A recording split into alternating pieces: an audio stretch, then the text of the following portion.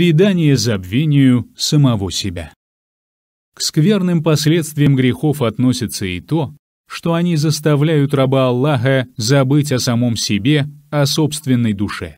Забывая же о собственной душе, он бросает ее, портит и губит. Кто-то может спросить, как же может раб Аллаха забыть о собственной душе? Если он забывает о собственной душе, то о чем же он тогда помнит? И что представляет собой это самозабвение? Ответить можно так. Да, он действительно предает душу свою величайшему забвению. Всевышний Аллах сказал, «Не будьте подобны тем, которые забыли Аллаха, и Он заставил их забыть самих себя. Они нечестивцы». Сура Сбор, аят 19.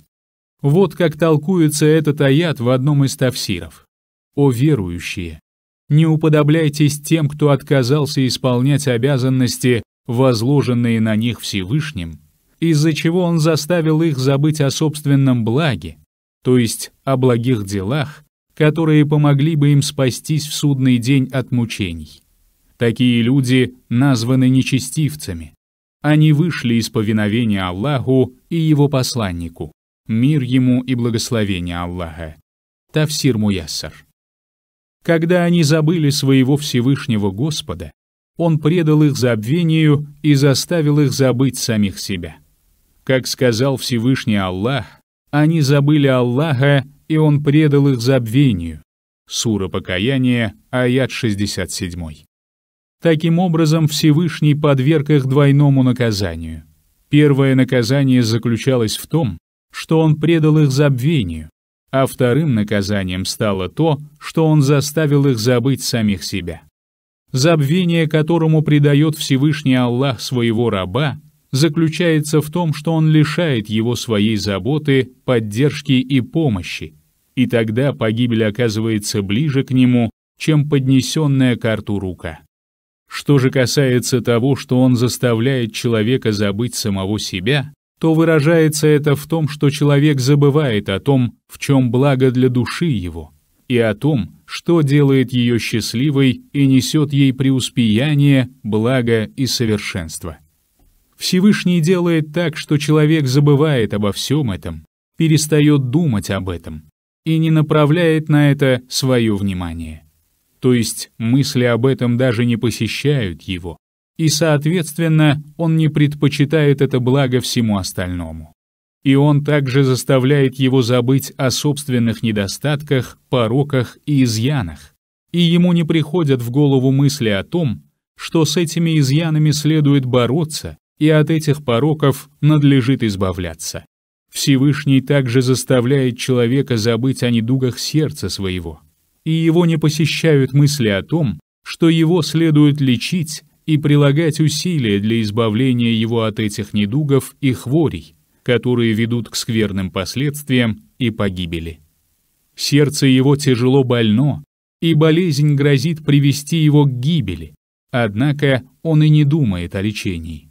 Это одно из самых тяжких наказаний, общих и особенных, постигающих человека.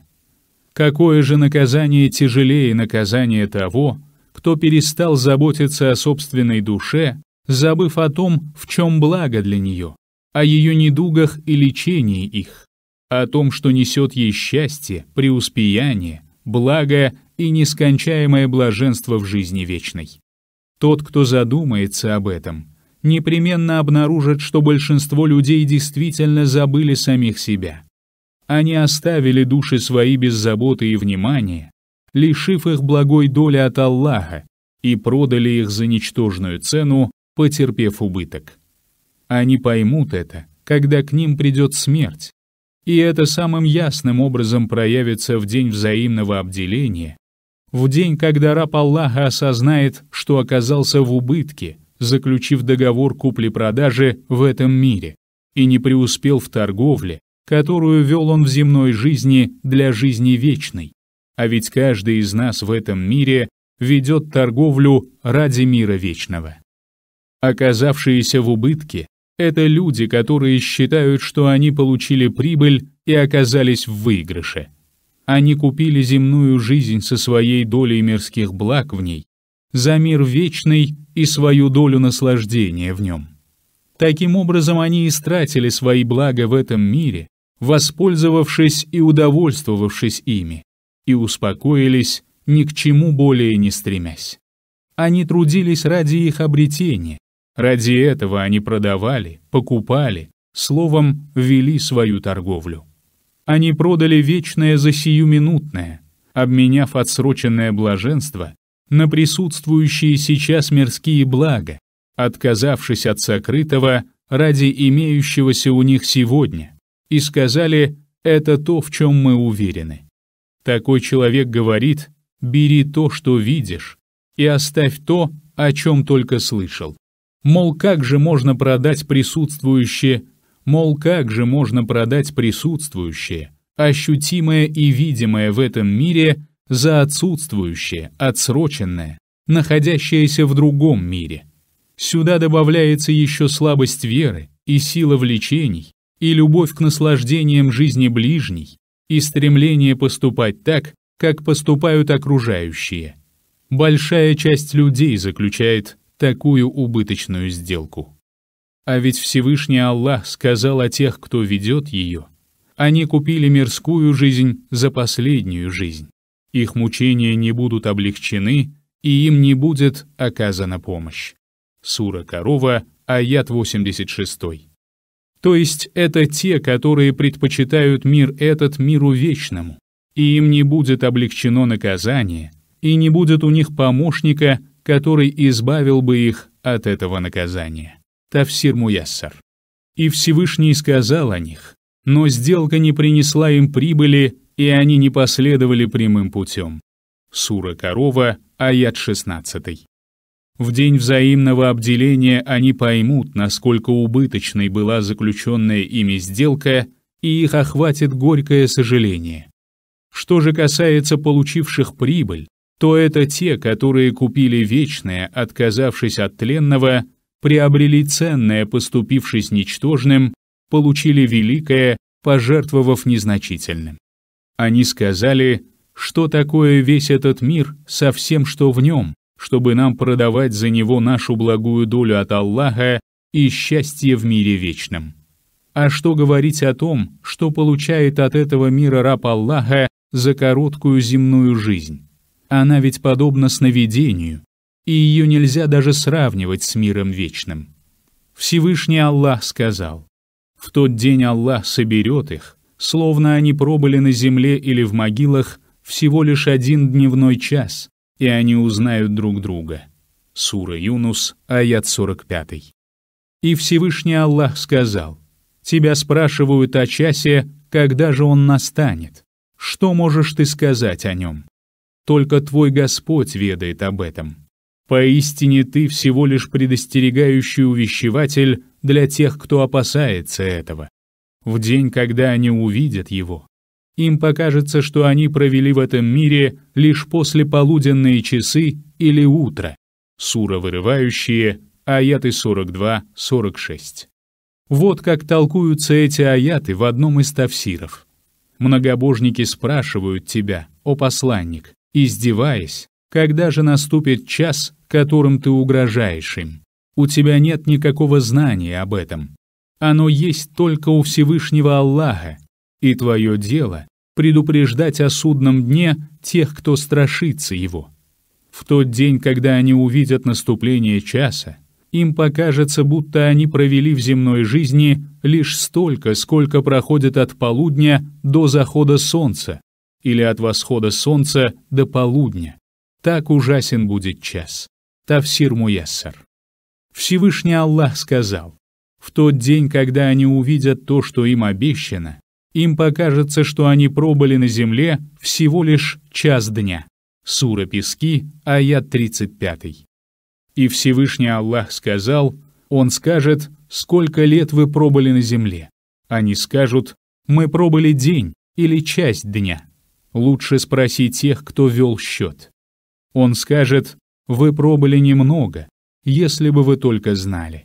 Сура верующие, аяты 112-114. То есть Всевышний Аллах обращает внимание этих людей на то, сколько упустили они за свою короткую земную жизнь из проявлений покорности Аллаху и поклонения Ему одному.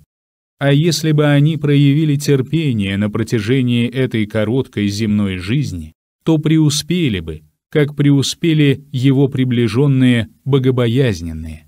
Ибн Касир, Тавсир. Всевышний Аллах также сказал, «В тот день подуют в рог, и в тот день мы соберем грешников почерневшими. Они будут переговариваться шепотом, вы пробыли там, в земной жизни, всего десять дней. Нам лучше знать, о чем они будут говорить. Самый примерный из них скажет, вы пробыли там, в земной жизни, всего один день. Сура Тага, аяты 102-104. Так проявится в судный день истинная сущность мира этого, понимая, что земная жизнь очень коротка и что им предстоит отправиться в другую обитель, обитель настоящей вечной жизни, и осознавая, что это величайший убыток продавать вечную обитель за тленную, некоторые люди поступили разумно и не стали заключать сделку, которую заключили глупцы. И в день взаимного обделения они увидят прибыль, которую получили, и поймут ценность того, что приобрели. Каждый человек в этом мире продает и покупает, заключая сделки. Ведь люди выходят по утрам по делам своим. И среди них есть продавший душу свою, Аллаху посредством покорности Ему, и освободивший, и погубивший ее. Поистине Аллах купил у верующих их жизнь и имущество в обмен на рай. Они сражаются на пути Аллаха, убивая и погибая. Таково его обещание и обязательство в Таурате, Инджиле и Коране. Кто выполняет свои обещания лучше Аллаха? Возрадуйтесь же сделке, которую вы заключили. Это и есть великое преуспеяние. Сура Покаяния, аят 111. Это первый вклад в эту торговлю. Так заключайте же сделку, о неимущие. О неспособные заплатить нужную цену. Есть другая цена. И если вы способны уплатить ее, то уплачивайте обрадуй верующих, которые каются и поклоняются, восхваляют и постятся, совершают поясные и земные поклоны, побуждают к одобряемому и удерживают от порицаемого, и соблюдают ограничения Аллаха. Сура Покаяния, аят 112. Вот как толкуется этот аят в одном из тавсиров.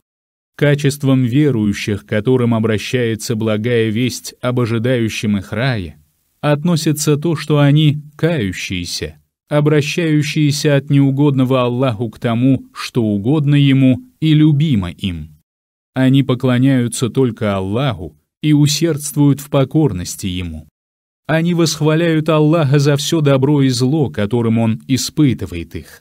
Они постятся и совершают поясные и земные поклоны в своей молитве, они велят людям то, что соответствует велениям Аллаха и его посланника, мир ему и благословение Аллаха, и удерживают их от запрещенного Аллахом и его посланником, да благословит его Аллах и приветствует. Они делают то, что Аллах вменил им в обязанность, соблюдая его веления и запреты. Они покорны ему и не приступают установленные им ограничения. Обрадуй же, о пророк, этих верующих, обладающих такими качествами, вестью о том, что их ожидает довольство Аллаха и рай. Тавсир Муяссар. О вы, которые уверовали! Указать ли вам на торговлю, которая спасет вас от мучительных страданий? Веруйте в Аллаха и Его посланника и усердствуйте на пути Аллаха своим имуществом и своими душами – так будет лучше для вас, если бы вы только знали. Сура Ряды, аяты 10-11. Таким образом, грехи заставляют раба Аллаха забыть о своей доле в этой прибыльной торговле и занимают его торговлей убыточной. И это достаточно суровое наказание. А Аллах тот, кого просят о помощи.